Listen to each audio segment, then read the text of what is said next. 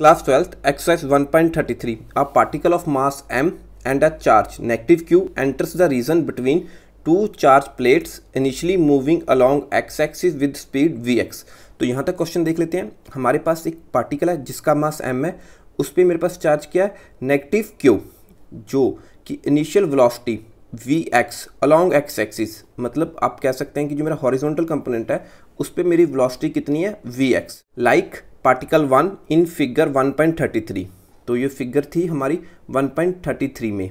वो जो one particle था, वो इस तरह मूव करा था। जो ये मेरा पार्टिकल है, having mass M and charge negative Q.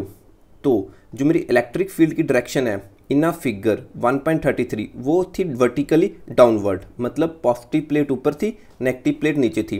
Particle पे चार्ज कौन सा है? नेगेटिव।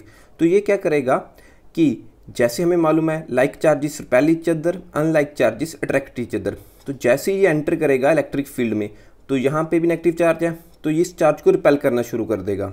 एंड ऊपर क्या पॉजिटिव चार्ज ये इसे अट्रैक्ट करना शुरू कर देगा। सो so, धीरे धीरे इसे वाइड डायरेक्शन में भी वेलोसिटी मिलने लग जाएगी। स्टार्टिंग में एंटर करने से पहले इसकी वाइड डायरेक्शन में वेलोसिटी ज़ीरो होगी। So the length of plate is L जो प्लेट की लेंथ है वो हमें कैपिटल एल से दी हुई है।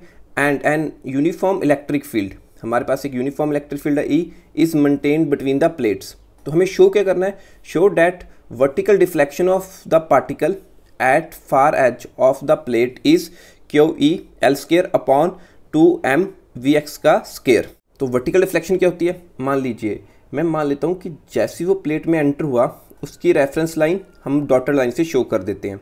तो जैसे ही हमारी इलेक्ट्रिक फ़ील्ड मतलब प्लेट का एंड आ गया फार एंड जहाँ पे ख़त्म हो रही है, वहाँ तक इसकी जो डिफ्लेक्शन इन वाई डायरेक्शन है, उसे मैं वाई से डिनोट कर देता हूँ। इसे हम कह देते हैं वर्टिकल डिफ्लेक्शन तो हमें वाई फाइंड करने को कहा गया है कि विद इन द प्लेट जब तक मेरा पार्टिकल रहा, वो वाइट डायरेक्शन की तरफ़ कितना डिफ्लेक्ट हो गया, जहाँ हम कह सकते हैं कितना डिस्टेंस मूव कर गया टू वर्ड वाइट डायरेक्शन तो साथ में उसने छोटी सी लाइन दी हुई है compare the motion with projectile in a gravitational field ठीक है?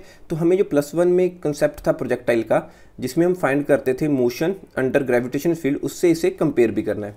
तो पहले हमें स्टार्ट कर लेते हैं। तो हमें क्वेश्चन में क्या कहा गया था? फाइंड करना है वर्टिकल डिफ्लेक्शन मतलब डिस्टेंस इन वर्टिकल डायरेक्शन और वाई डायरेक्शन कह सकते हैं। तो हमें इक्वेशन ऑफ़ मोशन से मालूम है कि S distance travelled is equal to initial speed into time plus half A T square जो मेरा ए है यहाँ पे, ये होगा यूनिफॉर्मली एक्सरेटेड मोशन तो यहाँ पे हमें क्या दिया कि इलेक्ट्रिक फ़ील्ड क्या है? वो यूनिफॉर्म है। तो ये मेरा जो मोशन इन वाइट डायरेक्शन में आ रहा है, ये भी अब मेरा यूनिफॉर्मली एक्सरेटेड मोशन होगा। तो अब हमें फाइंड क्या करना था? Deflection in vertical axis distance in vertical axis में बात करें तो यहाँ पे मैं यूज़ कर लूँगा एस की जगह वाई हमें क्या फाइंड करनी है? वाई तो जैसे हमने पहले डिस्कस किया था कि स्टार्टिंग में जो मेरे पास इनिशियल वेलोसिटी होगी वी नॉट वाई से डिनोट कर देते हैं वी नॉट वाई ये इक्वल टू ज़ीरो होगी। क्योंकि स्टार्टिंग में हमारे पास वेलोसिटी इन एक्स डायरेक्शन ही है वी एक्स और ये थ्रू आउट कॉन्स्टेंट रहेगी इन अ इलेक्ट्रिक फ़ील्ड क्यों? क्योंकि इस पार्टिकल को एक्स एक्सिस में कुछ भी अपोज करने के लिए नहीं है। जो मेरी चेंज इन वेलोसिटी हो रही है, वो सिर्फ़ वाई डायरेक्शन में चेंज हो रही है। सो इनिशियल वेलोसिटी तो हम डिफ्लेक्शन कहाँ देख रहे हैं? वाई एक्सिस में। मतलब अब हम मोशन इन वाई एक्सिस की बात कर रहे हैं। सो वाई डिफ्लेक्शन आ गया या डिस्टेंस ट्रैवल आप कह सकते हैं। सो so, यहाँ पे आ जाएगा V naught Y into time T plus half अब एक्सलेशन भी हमें किसे देखनी है? वाई डायरेक्शन में। सो हम इसे नाम देते हैं A Y uniform accelerated motion in Y direction into T square तो जैसे हमने डिस्कस किया था कि मेरी वी नॉट तो ज़ीरो ही है। Initial velocity in Y direction into T तो ये होल टर्म हो जाएगी मेरे पास ज़ीरो तो अब deflection y is equal to half मेरे पास क्या आ जाएगा? A Y into T square तो अब यहाँ से मैं acceleration in Y direction find कर लेता हूँ। सो so, मुझे मालूम है एक्सरेशन का फार्मूला क्या होता है? लाइक like, है ना? हम ड्राइव कर लेते हैं। From Newton second law F is equal to mass into acceleration तो यहाँ से मेरी एक्सरेशन की वैल्यू कितनी आ जाएगी? फोर्स इंटू मास अब फोर्स क्या होता है? इलेक्ट्रिक फ़ील्ड में हमें मालूम है force in a electric field is equal to Q into E तो यहाँ पे हम सिर्फ़ मैग्नीट्यूड की बात कर रहे हैं तो हम नेगेटिव चार्ज को कंसिडर नहीं कर रहे। तो यहाँ पे वैल्यू सब्सिट्यूट कर देते हैं। So my acceleration in Y direction is equal to Q E upon M so अब हमने ए वाई की वैल्यू भी फाइंड कर ली। अब रह गया मेरे पास टाइम तो टाइम कैसे फाइंड करें? तो जैसे हमें मालूम है कि जैसे हम स्पीड की बात कर लेते हैं स्पीड का फार्मूला क्या होता है? Distance covered by time taken so यहाँ से हम टाइम इजीली फाइंड कर सकते हैं like time is equal to distance upon speed तो हम टाइम फाइंड करने के लिए इस फिगर को दोबारा देखते हैं। तो देखिए, मुझे क्या चाहिए? डिस्टेंस और स्पीड तो देखिए, जो मेरी एक्स एक्सिस है, इस पर मेरी स्पीड यूनिफॉर्म रहेगी। तो मैं बेटर वे है कि इसे कंसिडर करूँ। तो जो मेरा वी एक्स है, वो एक्स एक्सिस थ्रू मूव कर रहा है मतलब हॉरिजॉन्टल डिस्टेंस और जो लेंथ ये ट्रैवल कर रहा है वो भी हमें गिवन है एल तो जो टाइम फाइंड करने के लिए हम इसीलिए वी एक्स का ही यूज़ करेंगे. सो so, डिस्टेंस कितना ट्रैवल कर लिया एल कितनी स्पीड से किया?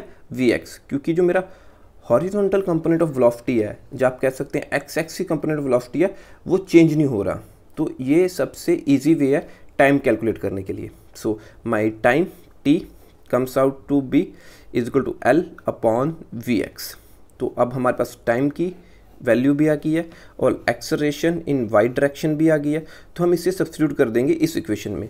So my Y comes out half A Y की value Q upon E M in T square है। सो टी की value L into V X का होल स्केयर तो इसे हम फर्दर सिंप्लीफाई करें तो मेरे पास क्या आ जाएगा?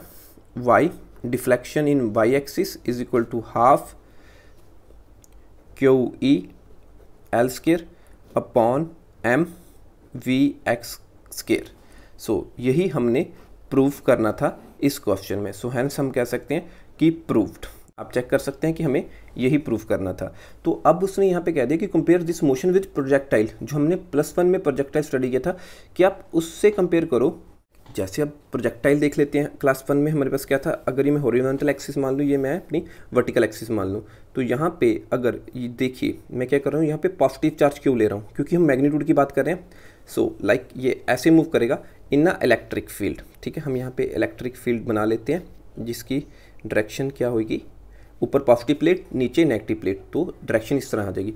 तो हमें मालूम है कि हम initial speed of a charge particle V naught से डिनोट करते हैं। Let this angle will be theta naught तो जो मेरा वर्टिकल कंपोनेंट आता है वो आता है V naught sine theta and जो मेरा हॉरिजॉन्टल कंपोनेंट आता है वो आता है वी नॉट कॉस थीटा तो अब जो मेरा चार्ज पार्टिकल इसमें मूव कर रहा है लेट हमने कहा था कि ये लेट इसे पॉजिटिव क्यों मान लेते हैं? ताकि थोड़ा इजी हो सके कि ये डाउनवर्ड से फोर्स लगती रहे। सो so, इस पर कितनी फोर्स लग रही है? क्यू इंटू ई सेम हर पार्ट पे इस पर यही फोर्स लगेगी क्यू इंटू ई जो इसे डाउनवर्ड ला रहा है। तो यहाँ पे आके ये कहीं रुक जाएगा। सो द मैक्सिमम हाइट को हम रिप्रेजेंट कर देते हैं स्मॉल एच एम से कि मैक्सिमम हाइट इसने इतनी अटेन की।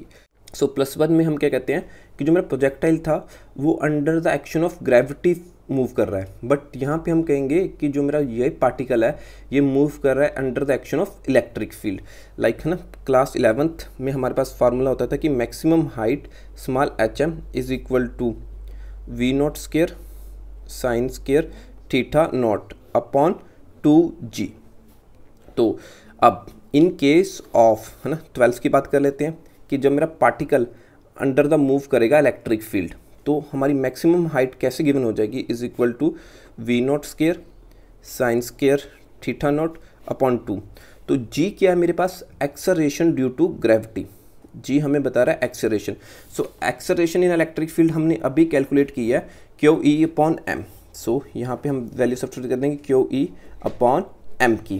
हमें अभी देखा था कि एक्सरेशन हमारे पास क्या आ रही थी? क्यू ई अपॉन एम तो हम ये यहाँ पे सब्सिट्यूट कर देंगे। तो ये मेरे पास फार्मूला जनरेट हो गया कि अगर पार्टिकल मूव कर रहा है मेरा इन अ इलेक्ट्रिक फ़ील्ड क्योंकि जो एक्सलेशन ड्यू टू ग्रेविटी है, वो बहुत कम होगी as compare to this term तो उसे हम कंसिडर नहीं करते, जब भी हम कोई पार्टिकल की बात कर रहे हैं, वो इलेक्ट्रिक फ़ील्ड में हो। तो इसी तरह रेंज मतलब maximum distance covered in horizontal so capital R so उसका फार्मूला था हमारे पास V naught square sine two theta upon G. तो सेम तो हमें मालूम है कि एक्सरेशन की वैल्यू इन इलेक्ट्रिक फ़ील्ड हमने भी कैलकुलेट की हुई है, क्यों? ई अपॉन एम तो V naught square sine two theta upon Q? E upon M तो ये मेरे पास रेंज आ जाएगी जब मेरा कोई पार्टिकल मूव करेगा इन आ इलेक्ट्रिक फ़ील्ड तो ये टॉपिक आपके कंपटीशन ऑफ़ व्यू से काफ़ी इंपॉर्टेंट है।